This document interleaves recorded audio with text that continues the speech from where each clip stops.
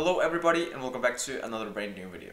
So in the video I made yesterday, uh, the one about Russians getting interviewed part 2, I got a lot of positive feedback.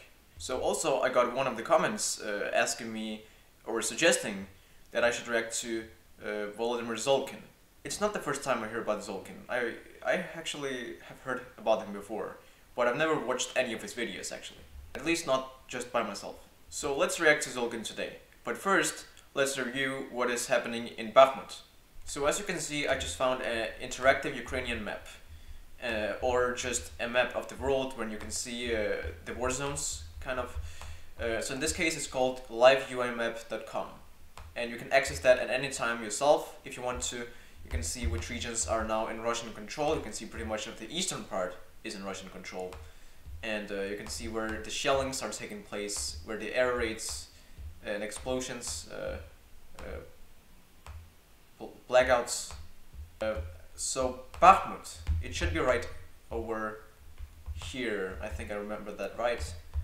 Uh, you can see it's very close to the Russian occupied territory and uh, also Ukrainian military just repelled Russian attacks near Bakhmut. Russians are trying to advance on Bakhmut really strongly right now. So the media is saying that it's a literal hell over there right now.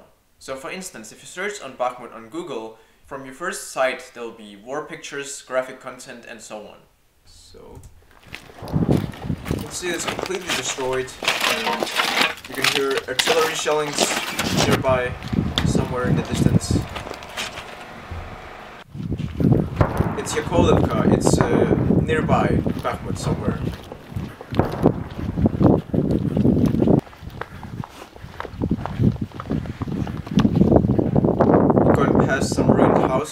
houses. Тут же варто не зупинятися, а рухатися далі якомога швидше. Тому що до російських окупаційних військ тут вже лічені сотні метрів. І на фоні I can say that I'm surprised to hear that the Russian forces are only a few hundred meters away. Just try to imagine for a second. The Ukrainian front line with the Ukrainian soldiers sitting in their World War One like trenches. There's a lot of water down the trenches, and it's the kind of muddy, cold, and bad kind of water. You get to go through that water, you need to sleep on it. Everything is in those bad circumstances. And only a few hundred meters away, there's Russians trying to advance on them all the time, and constant shellings come from their side also. So what do you think about that? Horrifying, right? цю артилерія чуєте. От реактивні Yeah, you снаряди. can hear that pretty clearly, Працюють парами. actually. Також міномети.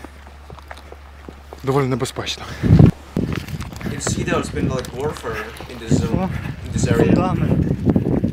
Кожен день, як зараз на фоні. Ой, гірше. Розкажіть трошки опишіть. Це що, танки, ствольна артилерія, міномети, е, авіація деколи залітає. Час від часу. Орки пробують лізти.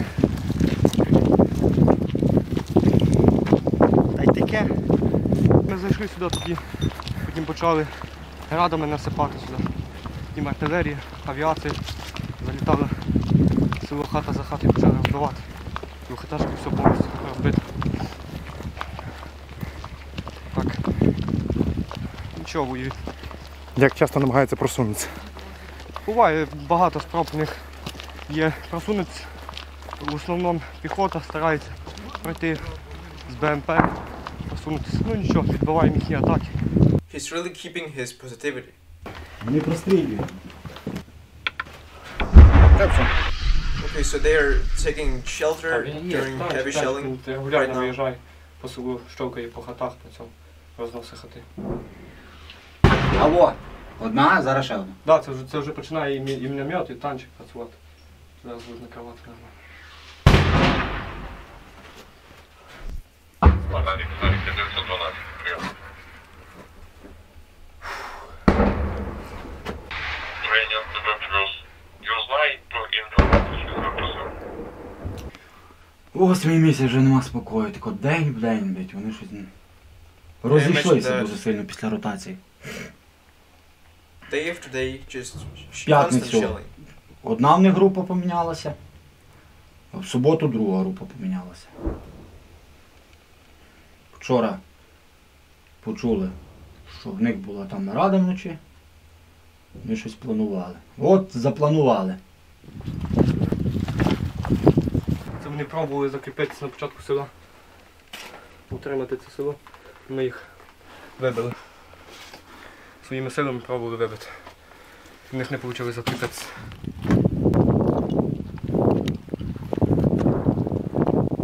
Хай сидять вдома.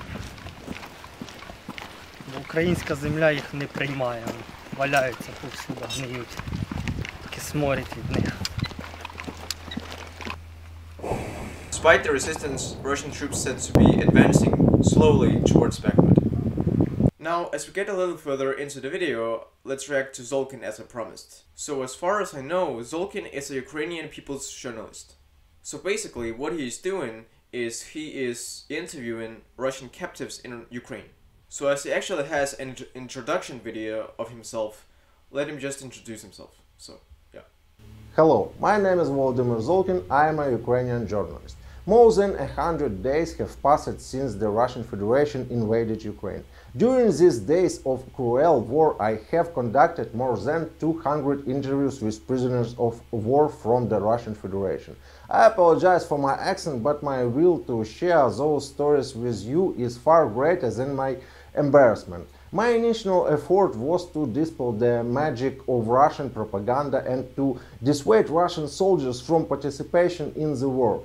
They should bring no more needless violence to both of our nations. I believe that with millions and millions views we made a difference. At this uh, stage, we aim to show the whole world what Russian aggression and what Russian propaganda really are. Make sure that you turn on the correct English subtitles and settings. Many Ukrainians actually do have a strong English accent, and uh, it's pretty normal to have that. It's pretty common. You can actually hear the difference between Russian and Ukrainian accents in English. Of course, it does depend on which language you spoke when you grew up. So, for instance, why my accent isn't Ukrainian is because I didn't grow up in Ukraine. So, that kind of makes sense, I hope. The video of Zolkin that we're gonna watch is gonna be in English because he has been so great to us to make an English channel. So, we can react to that. Mm, what should we choose, really? I have no idea. There's so many videos to choose from. Viewer discretion is advised. Вы даете добровольное согласие на это интервью? Да, Вы даете добровольное согласие на его публикацию? да. Хорошо, представьтесь, пожалуйста, полностью. So, as I can hear, the interview is happening with the consent of the Russian soldier, the Russian captive, now. So, so there is this thing about Russians and Ukrainians, they're holding their war hostages, or maybe I should say soldiers captured during the war in very different kind of circumstances. Because in Ukraine there should not be torture uh, of Russian soldiers. It's not the goal here. The goal is to get some answers from them. The ultimate goal is to get them exchanged for uh, Ukrainian captives in Russia. So at least under the law, there should not be any torture of the soldiers. But in Russia, it's, you know, Командир разведывательного взвода разведывательной роты 423-го мотострелкового полка 4-й танковой Okay, дивизии uh, на взвод wait, wait, wait. His name is. He is a lieutenant, and uh, his name is Vladislav Alexeyevich Salov. He's commanding officer of the Reconnaissance Reconnaissance. platoon. разведывательной роты 423-го мотострелкового полка 4-й танковой дивизии 1-й танковой армии лейтенант Сал Владислав Алексеевич. It is to no surprise that he's talking like that, also because well, he's a soldier. So when you are a soldier, you're supposed to know uh, where you're from, where you were born, when you were born, and who you are. So basically, you need to be able to say that very fast to your commander or something like that. Okay, so how do you introduce yourself in the military? This could include your name, your rank, that you'll be joining their command, where you're from originally, and what type of education you have, including any military education. Число, месяц, год рождения. 26 сентября 1997 Э, Где вы родились? В Кабардино-Балкарской республике, поселок Малаха- Малахановский, So he's Прокладинского 25 района. years old. Где вы 26. фактически проживали полный адрес? Город Санкт-Петербург, улица Лахтинская, 9, квартира 4. Uh, the one thing I don't understand is why Zolkin needs his full address. А, Вы проживали с э, мамой и папой? Да. Теперь давайте по- по- последовательно. Как вы попали в Украину, как вас сюда э, отряжали, да? Как это все происходило? Э, 12 февраля погрузились э, в эшелон, погрузили технику и отправились в Белгород на учение. А, Прибыли в Белгород Откуда? э, с города Нарафаминска. So, as I can understand, he needs his uh, military details in order to locate him where he was in Russia or uh, somehow identify him uh, so he can be make a call to his family, maybe. Да. А, Прибыли в Белгородскую область, э, дальше выгрузили технику и переправились, э, место не помню, первая дислокация, м, поле, кругом лес, э, там пробыли около четырех дней, свернули лагерь, переправились до деревни Акулиновка, там разбили лагерь, простояли также 4 или 5 дней. Далее неоднократно показывали видео о том, что украинские диверсионные группы переходят границу России. 20 А, 20 февраля вам показывали фильмы о том, что Украина... не фильм, а видео, там Видео, буквально том, три что- минуты. История была такая, что диверсионная группа пересекла границу, а России э, в составе нескольких БМП, двух, э, показали, как эти БМП сказали, что пограничные войска. И 23 числа вечером собрали документы и телефоны. То есть, э, получается, по логике, а, мы решили отправить парочку своих БМП для того, чтобы их расстреляли, и все. Правильно? Ну, как нам сказали, что это диверсионная разведывательная группа, э, и они прощупывают местность. При этом мы знаем, что 100 140-тысячная ваша армия стоит вдоль нашей границы. Два наших экипажа. БМП, чтобы что-то прощупать. Но этим вопросом я не задавался. Я понял. Нет, нет, я, я It's понимаю, kinda что они logical. задавались, может быть. э, It kind of sounds illogical to me, not logical. That's what I mean. I know he was let know on some fake news because propaganda in Russia is huge. And so, as you can hear him say, he thought that Ukraine crossed the Russian border with two BMPs, which would be kind of illogical to do in the circumstances of war when they already knew. Uh, I mean, everyone, not e- not only the Ukrainians, but everybody in Europe, in the US, knew that 150,000 troops were standing just in, just, yeah, it doesn't make sense. А подумай, твой офицер. С учетом того, что есть беспилотные летательные какие-то вещи. Есть беспилотные летательные аппараты, да, есть, э, Аэросъемка. есть, в общем-то, Спутниковая аэросъемка, связь. есть спутниковая связь. Yeah, it would be much reasonable, I think, to send instead of sending a scout group to send uh, something in the air or an air offense. It doesn't make sense. Because what would Ukraine even do uh, in Russia, anyway? Can you hear that? It's actually like an air raid siren, but I don't think that an air raid siren would sound like that. Также говорили, что началась война в Донецке и Луганске. э, И, Началась, да, в 2014 э, году. Ну, усиливались. э, И то, что эти группы отправлены, чтобы разведать перемещение наших войск. Потому что нас вывели туда на учение. А, я так понимаю, преподносилось это все под видом того, что Украина собирается вторгнуться Нет. на территорию России. Такого Нет. разговора не было. Командир полка неоднократно говорил, что это обычное учение, а, как Не, я просто имею в виду вот эти БМП, они, а, кроме разведывательной функции, у них что-то еще было, ну, которые Нет.